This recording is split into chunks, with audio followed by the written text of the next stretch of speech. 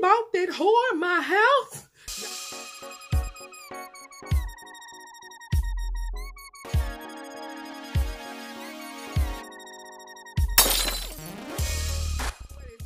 on, beautiful people.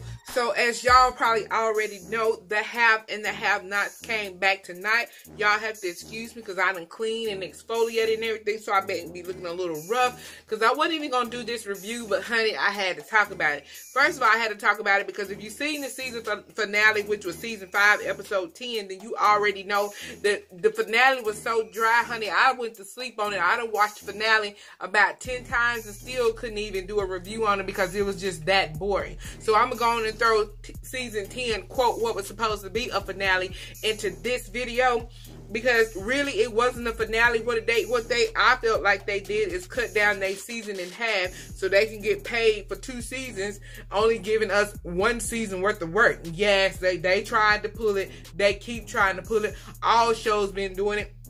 I feel like Empire was the first show to start doing that mid-season break bull crap. So they could just give us a, a, few, like maybe eight to ten episodes, then come back with the last eight to ten episodes about three to four months later, which is the rest of the season they've already recorded. So they can go and get paid for these two seasons, giving us half the work. Oh no, the first season should be, you know, 10 be 18 episodes or 10 episodes. The second season should be 10, 10 to 18 episodes. Stop giving us half-ass seasons. That y'all full of it. But anyway, let's move on. So getting into this episode, if you've seen episode 10, the quote finale, then y'all know it went off with Verona peeping through David window. And when she left the house, she was on the phone with Candace hollering, my house? He bought that whore my house? Y'all seen Veronica all in her feelings talking about it. So she pull up to the house. She all mad. She looking for David. Want David to come down side, come down um the stairs and know she outside. So she done picked up a brick and threw the brick through the window. Typical Veronica. Okay, so David come running down there in his his little underwear and drawers and on his heels is Erica. First of all, how David runs all the way through this house and not even touch a piece of glass, but there's glass all over this living room. Okay, he must have some tough alligator feet. Uh, he was just walking on air. Uh, his adrenaline was so high he didn't feel it. Erica come out, I cut my foot. we I'm not even gonna get on her right now. But anyway, so let's go go on and get into this tea. So apparently, once upon a time, when David and Veronica first met and they was all in love and they was some nobodies and they was dreaming about being somebody and where they wanted to live and whatnot and what have you. Veronica and David used to ride about, dream, ride around dreaming about, yeah, when we make it and one day when we get there, this is my house. This will be my house. That petty ass David done went and bought the house that was supposed to be Veronica's house, and he up in the house with Erica. Yes, he is, honey. Yes, he is. Is up in the house with Erica. Veronica screaming and hollering, trying to go up in the house, talking about David, David, David, you got this whore in my house. You got this bitch in my house. And I'm tired. I'm going on, carrying on. And David gonna told her, you talking about you tired. You got our son in jail and you talking about you tired the shade started getting real. And he was talking about, they got to talking about laying it on the line. And she's like, we can lay it all out on the motherfucking line, David. And David was like, well, let's lay it out. Well, let's lay it out. Well, let's lay it out. They going back and forth with somebody lay it out because hell, we want to know what y'all laying out. We know y'all got some tea. Share the tea. We we need to know. Somebody please sit for me because I left mine in the other room. But moving on. So, um,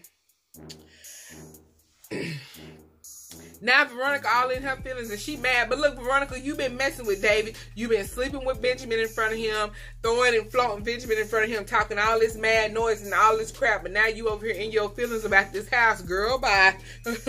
you got what you asked for. And then Erica, you running down here talking and being sassy, whatever. But I did. I ain't even gonna lie. I wanted Erica to reach out and touch her. Just put your hands on her one time. Because she needed to be popped, though. But I ain't to say nothing. But anyway, moving on.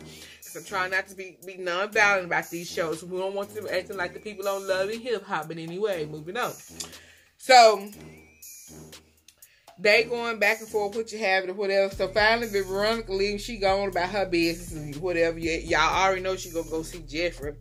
That's all she got left to uh, mess with. So I get irritated because Erica in there trying to talk about what her scary arse talking about um well, she caught herself up in the lies, what she did. Talking about this is too much drama, David. I can't take this drama. I can't take this drama.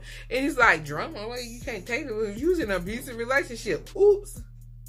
Girl, you better shut up because your lies gonna come out. Uh, I'm like, this is too much. This is different. This is too much drama, girl. Now you lying. That's what it is. You better hurry and tell this man you're falling from the school else you got. What else you got, honey, baby?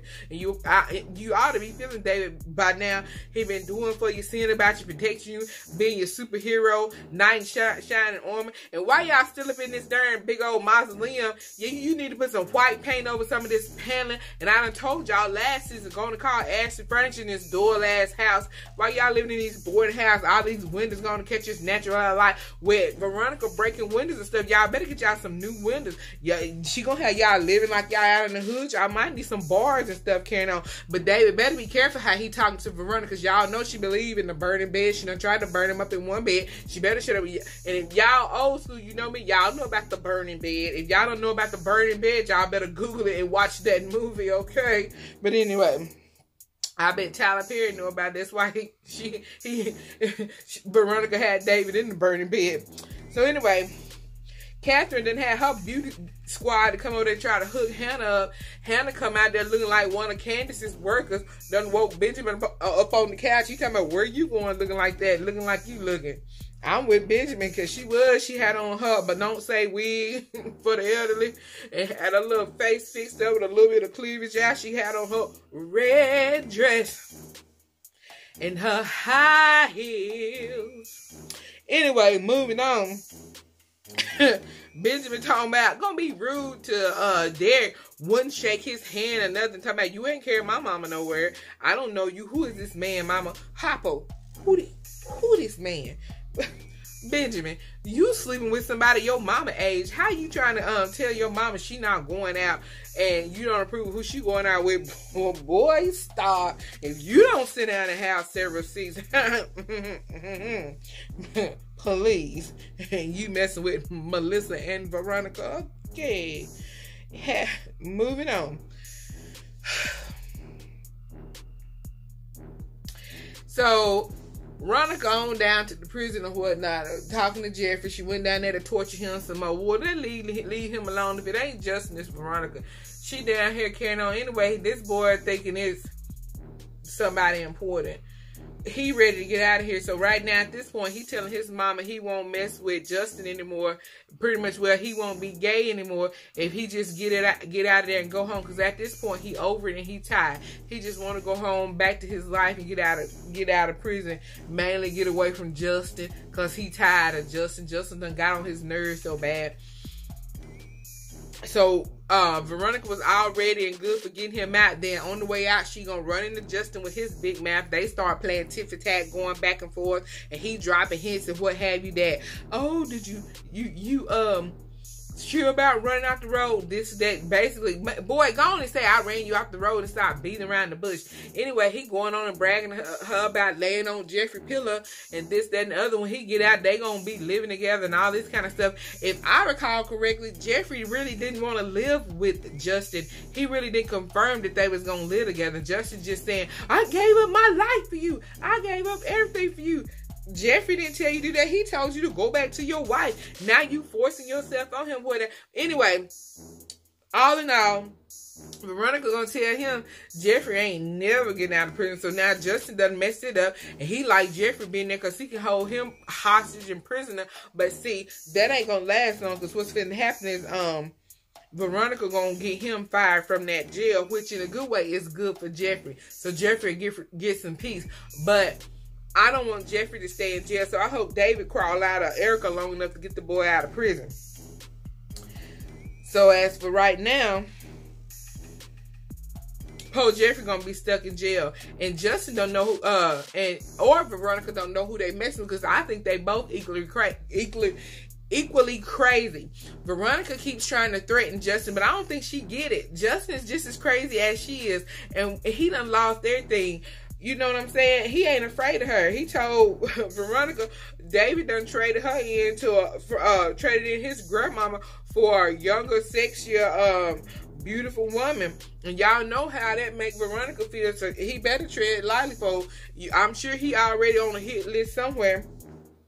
So Benny seen the little message that Melissa had sent him. Y'all seen that in episode 10. Melissa sent Benny that message from Veronica's phone saying whatever it said about coming over, whatnot, or what have you. So when he woke up, he went on over there at his time he was supposed to go, and of course Veronica was gone. And then uh, what was Benny's excuse? He a man. She keep putting it out there. What was he to do? He she finally got what she wanted, which was for for Veronica to walk in on them two together, and she finally did. And Melissa couldn't wait to jump up and say, "He didn't want your old ass anyway." He didn't want your old ass anyway. And Veronica's like, apparently he didn't.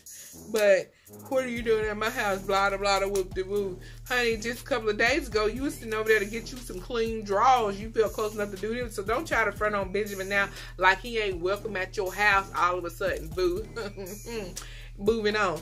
So, now she all mad and in her feelings or whatever, cause y'all gonna drive her crazy. All these young women taking up all the men and she feeling aged and dilapidated, but she gonna try to put Melissa down and call her all kinds of stupid and what have you and whatnot. And guess what happened? Melissa done yanked her up on her ponytail like somebody holding on to the reins of a camel. She grabbed her by the ponytail and snatched her back. Boop, boop. And the next thing I know, Benjamin was trying to break them up, but I screw snatcher. She need to be. She to add some punches on Veronica so she can knock some sense in her. She's not. she she keep on.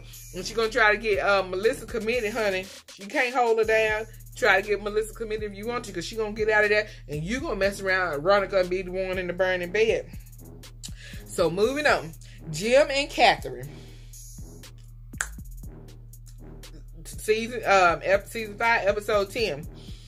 Oscar finally found out where um Wyatt was living and whatnot, gave the information to Jim. Jim and Katheryn, they finally back on the same team. Went over down to Wyatt place, waiting on Wyatt. Wyatt down to the bar, throwing back shots. He done jumped off the wagon. Not slid or feel like he died or jumped off the wagon just because his little therapist left him and he done fell for her, what have you, or whatnot. So they up in him waiting on him. He come walking in, Jim all up in his face, messing around with the package in his pocket, done ran over to the sink trying to cut the crack open and put the powder down the sink. Wyatt thing for the powder so bad. He done backslap Katheryn smooth across the kitchen. She done slid across the kitchen like she's sliding in the home plate. Yeah! Anyway, so Jim running Katheryn surprisingly I didn't honestly think he cared enough, but I guess now he really realizes maybe he do care about Katheryn. I guess he better care about it because that's where the money is. If he don't care about her, he don't care about the money. Is that correct? That's correct. So anyway, Jim trying to sit about Katheryn. Why grabbed his wine bottle and smacked Jim in the head? He feeling so bad. They Katheryn and Jim down there. You okay? No, you okay? You okay? This fool Wyatt feeding and sweating and carrying on wanting them wanting the powder so bad. He's so mad that he done grabbed the doggone big ceramic man head statue that look like it's half the size of the top of somebody's body, about to bust both of them and smash them up in the floor up in his doggone kitchen. Chad, the Lord. I don't know what's going on, Lord. When we come back from the next season, I don't know what's gonna be going on. It, it's too much going on. I don't even know. So moving on, Candace done drugged Oscar. Yeah, I think he drugged. It looked like to me, hell, the motherfucker that oop I'm trying not to. Look like to me the mofo dead. He fell out on the bed. She smacked him and going on. He didn't have no life in him. I don't even know if he was breathing. He was down on his face.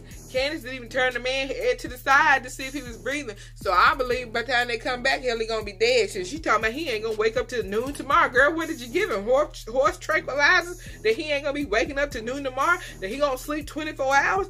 Good out. Anyway, she get his laptop and getting all the stuff she had had do record with his phone, which was the stuff the Wyatt bank account. So while and them over there laying up in the floor, Candace finna go over there and suck, suck him dry. Time and she getting her money back. So Jill, do on to others as others do on to you because what David and Oscar did to Candace. Wyatt, I hope you going over there to that there and all you could do because Candace about to take your money, quote her money, and be back on top. But the little senator, whatever she do, she do wrong or what she don't do, we know the senator gonna probably reappear by what the third or fourth episode and get her out of this. If not, it won't be the second one. I think by the third and fourth episode and get her out of that. But in the way, and I hate to say this though I want her to get her money back. I do because she she though she blackmailed Jim for the money. Jim was being a hoe. And if her prices got a little high, then her prices got a little high. Pay her her money and keep it moving. And anyway, Jim didn't ask David to get that money back, and when he didn't ask David to get that money back, I think Jim should just gave Candace the money back and let let bygones be got bygones ended the feud feud with Can, uh, Candace and be done and moved on. So anyway, I still hope Candace get her house back. She get Benny's business back. She get everything back. So anyway, we gotta wait to the next episode to see what else happened. Like I said, I wasn't sure I was gonna do a review for this show, but I enjoyed the show so much I had to make one. Thank you guys for watching, and I'll see you guys in the next review. Be sure to smash the like and notification button. Be sure to comment and share if you like the reviews, and I'll see you in the next one.